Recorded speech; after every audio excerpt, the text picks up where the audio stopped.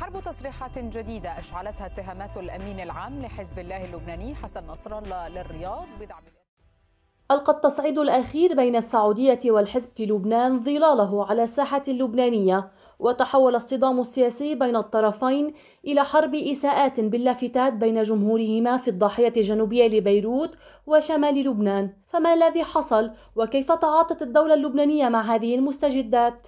ودعا لبنان لإنهاء ما وصفها بهيمنة حزب الله على مفاصل الدولة. وفي ش... اشتعلت الحرب الكلامية بين السعودية والحزب بعد وصف العاهل السعودي الملك سلمان بن عبد العزيز الحزب بالإرهابي ورد نصر الله باتهام السعودية بالإرهاب ودخل السفير السعودي على خط الرد الأسبوع الماضي حين وصف نصر الله بأبي رغال فرد عليه جمهور الحزب بنشر صورة له في الضاحية الجنوبية ووصفته بالكذاب وأبي رغال عندها أصدر وزير الداخلية بسام مولوي قرارا بإزالة الصور المسيئة من الضاحية بحسب صحيفة المدن.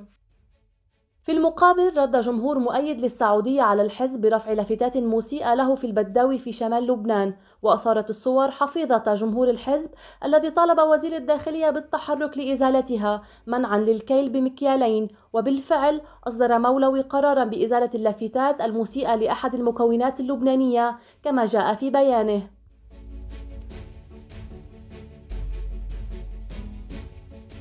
ترافق مع حرب اللافتات بين المناطق حربا إلكترونية. عبر فيها المغردين عن استيائهم من التطورات. فقال سلطان يافطات خبيثة علقت على جسر البداوي بالقرب من مدينة طرابلس. فيها إهانة للمذهب الشيعي كله وإهانة لسماحة السيد إن لم يقم وزير الداخلية بإزالتها وجلب الفاعل إلى السجن ولم يصدر رئيس الحكومة بيانا يستنكر فيه ما حصل فليستقيل. أما حساب تحت اسم أبو إيلي فقال وين وزير الداخلية؟ الكيل بمكيالين مبسوط منك طويل العمر؟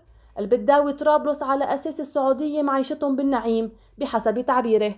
التوتر الذي وصل إلى ذروته بين الحزب والسعودية تمدد إلى حيزه الداخلي اللبناني وانفجر انقساما بين الشارعين السني والشيعي بما يتخطى الانقسام السياسي وفق المدن.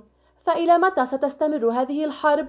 وهل سنشهد على أحداث تصعيدية في الشارع اللبناني؟